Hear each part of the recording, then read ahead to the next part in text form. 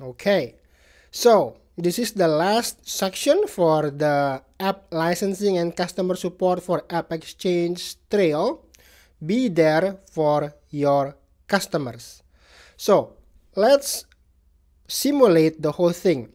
So I am going to install an app that we've built throughout this trail and then see how we can log into the customers quote unquote org and see how we can support the customer. All right.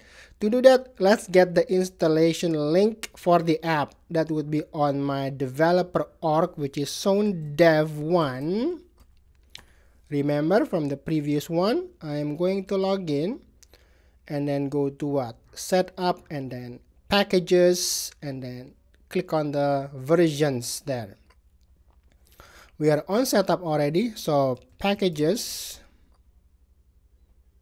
Or not installed packages. Packages. Package manager. And the trail app this is the app we want to install as a customer. Versions right?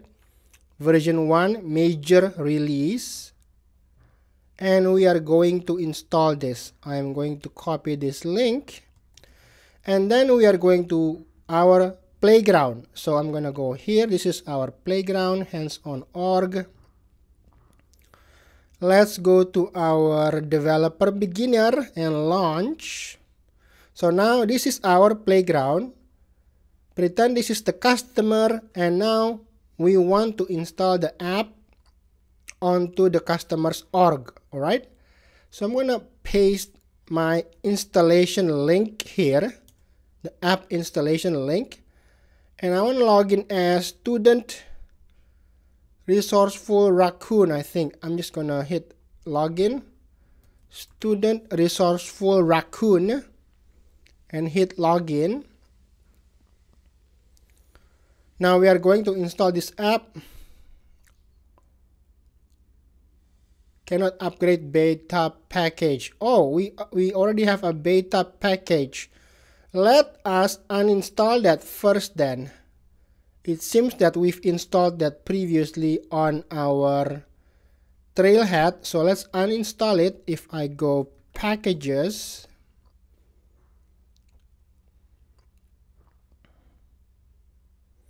yeah, we have Trail app already there. So I'm going to uninstall that first. I don't want to cop uh, save a copy, hit OK and yes I want to uninstall. So now takes a few seconds. I'm gonna reload and make sure the trail app is gone. Now let's delete this. Make sure it's clean clean. So this is still on our trailhead playground right? So I'm gonna paste my installation link again and log in again to my Trailhead Playground. Now, we have an installation. So I want to install this for all users. And yes, I acknowledge that I'm installing a non-Salesforce application that is not authorized for distribution because this is just a test.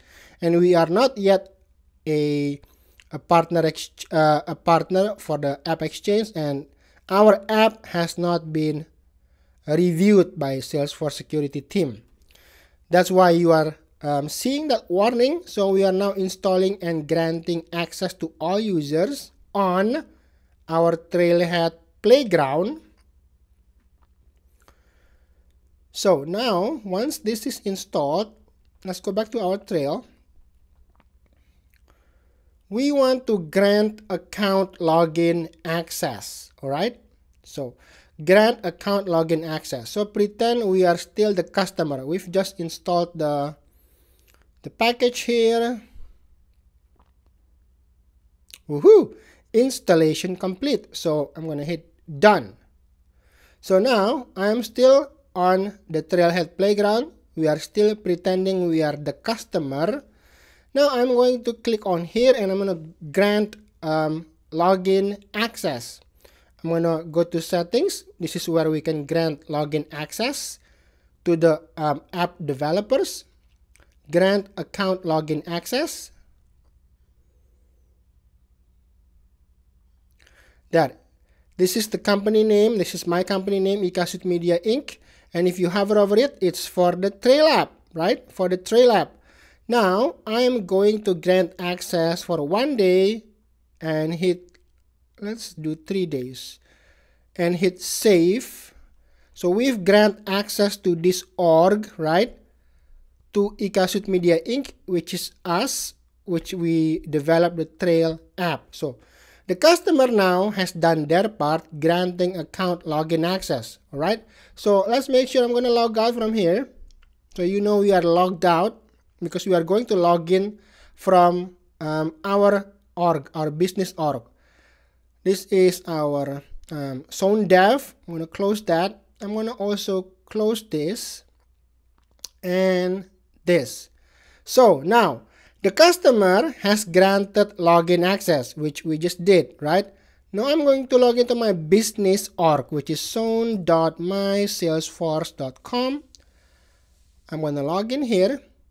And here we have the license management app or the LMA. If we go here, you can see that we go to the LMA here.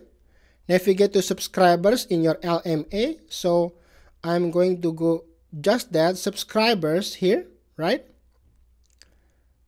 And I'm gonna log in again.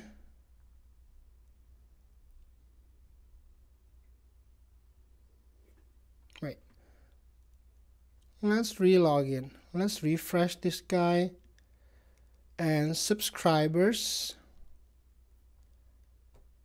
I'm logged out for some reason.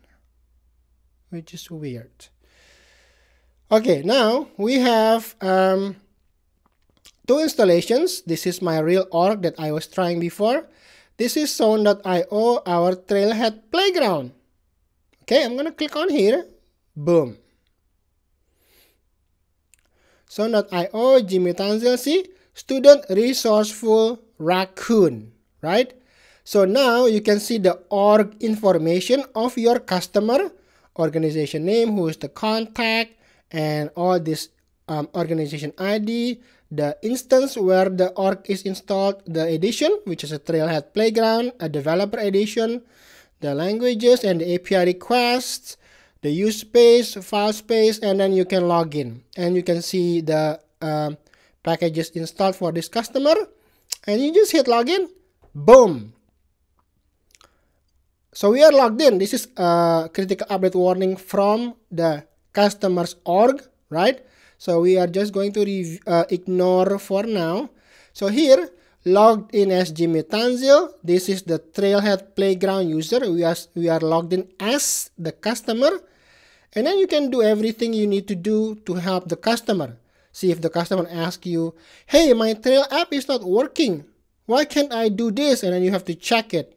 So what is the advantage of logging in as the customer through the subscribers uh, page here. The advantage is you can view your codes. You can debug your codes, view the code and trace everything so you can fix stuff. Your customer will not, I repeat, your customer will not be able to here view manage package code. As a customer, they cannot View manage package debug logs. They cannot. View and edit protected data in custom settings. They cannot. Start an ISV customer debugger session. They cannot. But we, because we logged in as the developer, right? So we can do that. We can do all those things. We can check the code, debug what's going on, and we can fix the issue. So that's pretty much it. And then you can uh, play around with your debugging app here through Visual Studio and check what's going on, test everything out, make sure it's working. So that's basically it. That's how we as a publisher or developers can support our um, customers, right? When when when we grant login access to our um, app developers, this is what they will do. This is uh, what they see. They click login and they will logged in as us whoever is granting the login access and then they, we can do our work. So to log out, I'm just going to click on here and return to subscriber overview and we're done. Going to close and then close and then close. So let us do the quiz. Who grants an App Exchange partner access to a subscriber or org? Access is enabled by default upon installation. No. The customer has to grant access to the org, right? Like we just did, grant login access. Okay, what can you do with login access that you cannot do with subscriber login? Yeah, view code and debugging. Custom deb uh, debugger ANC. Oh no no, a use two-factor authentication. No, both can do that, right? Yeah, debugger, that's right. Both can use two-factor authentication. So A and C. Which of these can you do with the ISV customer debugger? Follow the execution of your solution's logic in real time. Yes, you can do that. Set breakpoints and view data in your solution. Yes. Rewind. Hmm. Rewind the stack to undo the effects of a bug. that would be cool, but you can't do that. So that will be A and B. That's it. We have finished our uh, module and I'll see you on the next one. Oop, I haven't get the point yet. Bada bing, bada boom.